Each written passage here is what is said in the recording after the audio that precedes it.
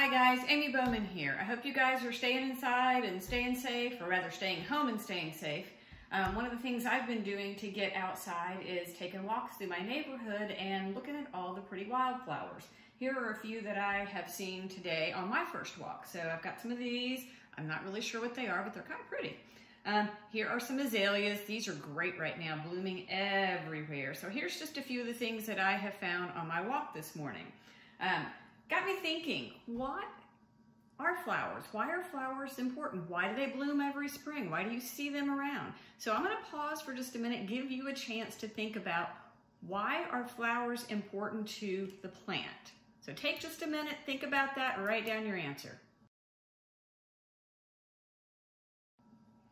All right, so some of the answers I've heard from that question in the past when I've been out at schools is because they're pretty and they smell good and they attract bees, which are all great answers, but it doesn't really answer the question, why are flowers important to the plant? I know why they're important to me because I like them. They're pretty, they smell good, and they just make me feel good. Um, but plants, why are they important? So flowers are the reproductive part of the plant. The plant's main goal is to reproduce and produce more plants. So the flower is where all of that takes place.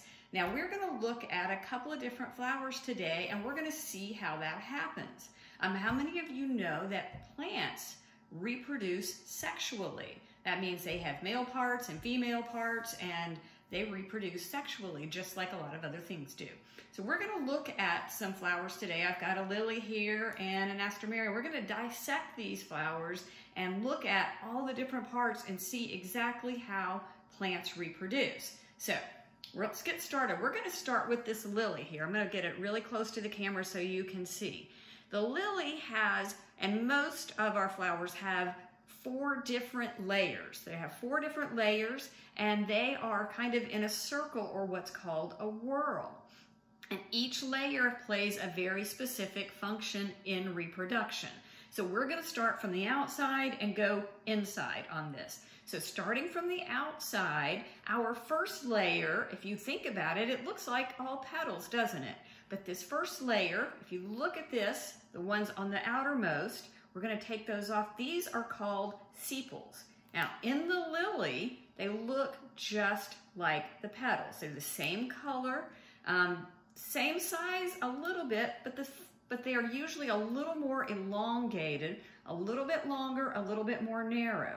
And their job is to protect the flower as it develops, as it's developing inside. So here I have a bud. This one has not opened yet, and all these outside parts, these are the sepals. They hold it in there tight while all the parts inside that flower are developing. Until it's ready for reproduction, it stays nice and tight and protected. Okay, so these are our sepals, that's S-E-P-A-L, sepals, and their job is to protect, okay?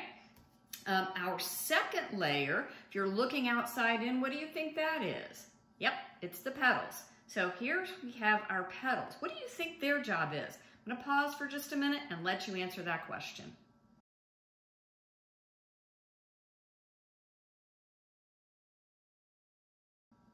So what did you say was the reason, the job of the petals or the function?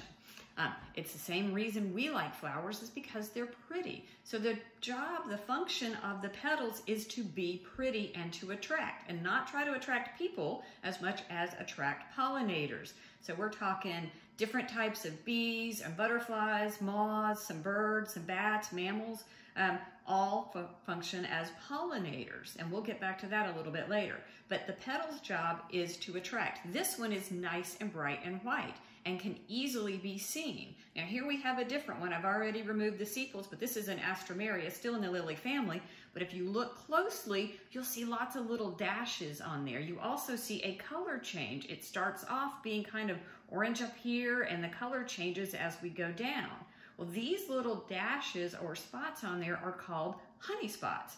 They have nothing whatsoever to do with honey, but what they do is they direct the pollinator. They tell the pollinator, this is where you need to go, right in here. So think about those guys at the airport with the lights directing the airplanes. That's what these spots do. Think about seeing this as you're flying over. It directs the pollinator exactly where that flower wants it to go. Here we have a little bit different one. So we have, this is one that I picked up on my walk this morning. And as you see, it gets really bright and light colored toward the center. And that's where the flower wants the pollinator to go. So it's kind of like a flashing light saying, stop here, stop here. Here I have the azaleas and it has honey spots on it as well. All those little spots on there are telling the pollinator exactly where to go. So that is the function of the petals. So I'm going to remove the petals from our lily right here and we'll see what we have next. Okay, so now I have a whole bunch of little sticky things, okay? Um, some of them look a little bit different. There's one in the center and then I have one, two, three, four, five, six of these. So these are, let me go ahead and take one of, the, one of these off. What do you think this is and what do you think it does?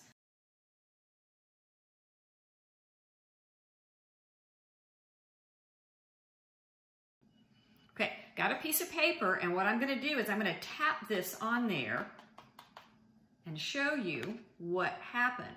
What do you think all of that is? That is pollen, okay? So that is pollen. And pollen, each grain of pollen contains sperm cells. And remember we talked about that plants reproduce sexually, so you're gonna have to have the male sexual cell and the female sexual cell, male cell being the sperm, the female cell being, hmm, what's that? We'll talk about that in a minute. So what we have here, this is the male reproductive part. This is called the stamen, and the stamen has two parts. It has this right here, the filament, and the part right here that's jiggling and moving around a lot, this is the anther. The anther is where the pollen is produced. All right, so this one has six different anthers. It produces quite a bit of pollen. It's probably what's all over my car right now. So we have six different anthers. That's where the pollen is produced. But then we have this other part right here in the center. So what do you think that is? Well, we've already talked about protection. We've already talked about attraction. Got the male part, so this must be the female part. I'm gonna move it in a little closer so you can see better. Try to get some contrast here where you can see what, I'm, what we're looking at. This is the female reproductive part, and it is called the pistil. So the pistil is composed of actually three different parts. We have this part right here, which is called the style. It's basically the same as the filament, just holds it up. And then at the very end, what we have is called the stigma. I'll see if I can zoom in a little bit and let you see it a little bit better. Um, and that's the little thing, if I can get the right light on there, you can kind of see that that end is a little bit sticky, a little bit kind of wet and shiny and sticky looking. I wonder why that is. Um, and then we have this swollen part right here. So this is the female reproductive part. What do we have to have for reproduction? We have to have a sperm cell. We know where those are. Those are in, in the the stamen, and then the egg cells, which is the female reproductive part, are at the very base of this pistil. Okay, this pistil, its function right here is to attract pollen. All this pollen will stick to it. So when the pollinator comes and it lands on the flower, it gets pollen all over its body and it crawls all around over there and all of that pollen, some of the pollen will stick to the stick to the pistil, to the stigma, the sticky part of that, and actually help pollinate the flower.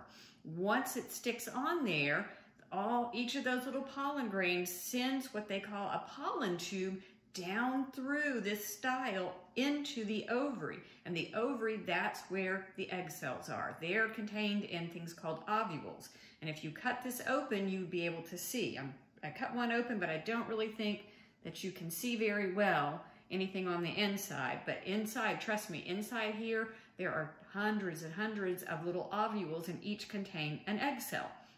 All right, so once the flower is pollinated, meaning that pollen has been transferred from another flower to this flower, um, and each of those pollen grains produces a pollen tube. That pollen tube goes down through this the stigma and the style into the ovary, that swollen part right here, and connects with the ovules. Those ovules contain the egg cells.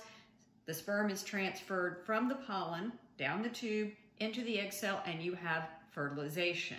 Once you have fertilization, it can now develop into seeds. Now they're fertilized and they will produce seeds. Voila, now we have reproduction. Um, some things, some of these, this ovary right here on this flower is just going to produce seeds. But in some things, that's actually going to become a piece of fruit. So like an apple or an orange, a pear, that becomes, the ovary becomes the fruit surrounding those seeds. I just went to my fridge to get a little cherry tomato right here. And so let's look at this. I'm gonna cut this open for you and we're gonna look, because this tomato is a great example of an ovary. And when I cut it open, inside you can see all the seeds. So this is surrounding the seeds. This has obviously been pollinated and fertilized.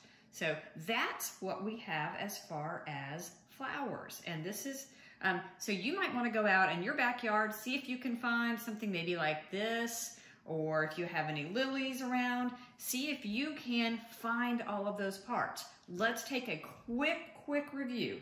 All right, the first layer or whorl is called the sepals, and that holds it all together as it's developing, and its job is protection. The second layer is the petals. The petals' job is to attract. The third layer, that's the male reproductive layer, and that's called the stamen. The stamen is where the, the pollen is produced and the sperm cells are. And our fourth and final part is the pistil. The pistil is where the pollen sticks to. This is the female reproductive part and also contains the ovary. Once fertilized, develops into seeds, just like we have in our tomato plant right here. Thanks for tuning in.